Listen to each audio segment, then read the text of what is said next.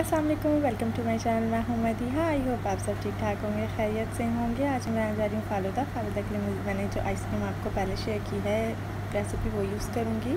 और साथ में पास है जेली आप देख सकते हैं ये आइसक्रीम मैंगो आइसक्रीम है, जो मैंने पहले आपके साथ शेयर की है वीडियो साथ में पास एक जेली मैंगो जेली और मेरे पास रेड कलर की स्ट्रॉबेरी जेली है. उसके साथ में तुख मलंगा है मेरे पास. मैंने इसको दो घंटे पहले भिगो दिया था पानी में और साथ में पास कॉकटेल है. और ये बादाम, पिस्ते, अब इनको इस तरह से कट करने।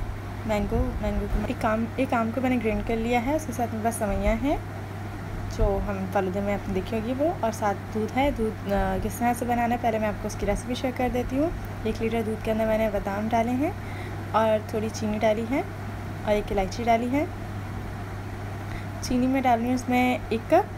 आप देख लीजिएगा अपने टेस्ट के मुताबिक कि आपको कितना ज़्यादा मीठा चाहिए।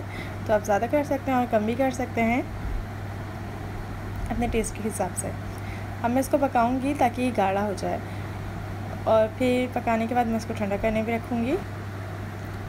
अभी देखिए दूध गाढ़ा होना स्टार्ट हो गया है। जब देखें आप इसकी हाफ़ क्वांटिटी रह जाए दूध की तो इसका फ्लेम ऑफ़ कर दें और इसको ठंडा करने छोड़ दें। मैं इसमें रोज़ वाटर यूज़ कर रही हूँ। टू टेबल स्पून जितना, उससे बहुत अच्छी खुशबू आ जाएगी।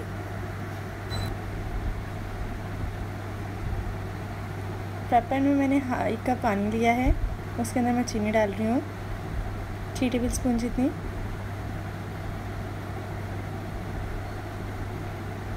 हाफ़ कप मैंने कॉर्नफ्लोर लिया है। कॉर्नफ्लोर को मैं गाढ़ा करूँगी, पकाऊँगी, इसमें पहले घोल लूँगी। ठंडे पानी में ही मैंने कॉर्नफ्लोर डाला है, और उसको मैं आराम आराम से घोलना स्टार्ट करूँगी स्पून से।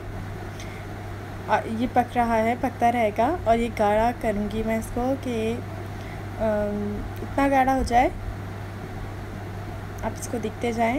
ये मैं बना रही हूँ, सवियाँ, जो हमने देखी होती फालूदे के अंदर डालते हैं। वो बहुत मुश्किल से मिलती हैं, आपको नॉर्मली शॉप्स में नहीं मिलती।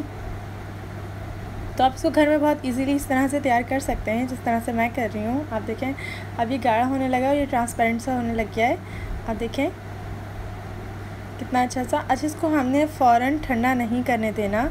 इसको हमने फ़ौर ही अगर ये ठंडा हो जाएगा तो ये ख़राब हो जाएगा, इसको हम इस तरह से मिक्स करते रहेंगे और उसको मिक्स करना भी नहीं छोड़ना। अगर आप छोड़ेंगे तो फिर अब मेरे पास बहुत ठंडा फ्रीज़र वाला पानी है, अगर आपके पास बर्फ़ है तो आप इसमें बर्फ़ डाल के पानी ले सकते हैं। अब मैं देखें किस तरह से इसको बना रही हूँ। आपके पास कोई भी उससे यूज़ कर सकते हैं जिस सवैयों का शेप देने के लिए। आपके पास कौन हो या, पर ये बहुत गर्म होता है, ध्यान रखने, ध्यान के साथ इसको करना चाहिए। अभी देखिए डन हो गई हैं, सबसे पहले मैं ग्लास में नीचे तो मलंगा डाल रही हूँ।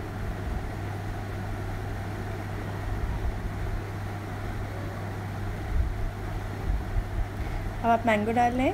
अच्छा ग्लास की तो आप समलिंग कैसे भी कर सकते हैं मतलब जैसे आपको पसंद आए, आप क्या, पहले क्या चीज़ पसंद करते हैं तो आप वो डाल लें। और जैसे मैं कॉकटेल डाल दिया है, ये बहुत इजीली आपको किसी भी ग्रॉसरी शॉप पे मिल जाएगा। कैन उसके बाद आप जेली का भी कोई भी कलर चूज़ कर सकते हैं, जो आपको पसंद हो।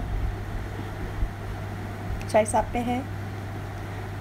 और साथ ही ये बहुत यमी टेस्टी सा फालूदा आपका बनने वाला है और आइसक्रीम की रेसिपी मैं आपके साथ शेयर कर चुकी हूँ मैंगो आइसक्रीम की। वही आइसक्रीम मैं यूज़ कर रही हूँ। अब जो हमने दूध को गाढ़ा किया था, अगर आप इसे ज़्यादा गाढ़ा पसंद करते हैं तो आप दूध को और ज़्यादा पका लें और उसमें कंडेंस मिल्क भी डाल लें तो और भी ज़्यादा अच्छा टेस्ट आ जाएगा दूध का। अब मैं इसके अंदर आइसक्रीम डाल दूँगी। यमी सी आइसक्रीम और ये बहुत टेस्टी आइसक्रीम बनी थी। अब उसके बाद आप इसके ऊपर फिर से जेली डाल लें और जो आपका दिल करे, आप इसके साथ सर्व करें। इसको जिस तरह से आप डेकोरेट करना चाहें, आप इस ग्लास को उस तरह से डेकोरेट कर सकते हैं। बहुत यमी सा फालूदा रेडी है। और प्लीज़ ज़रूर ट्राई करिएगा और मुझे ज़रूर बताइएगा आपको कैसा लगा। थैंक यू फॉर वॉचिंग अपना ख्याल रखिएगा। अल्लाह हाफिज़।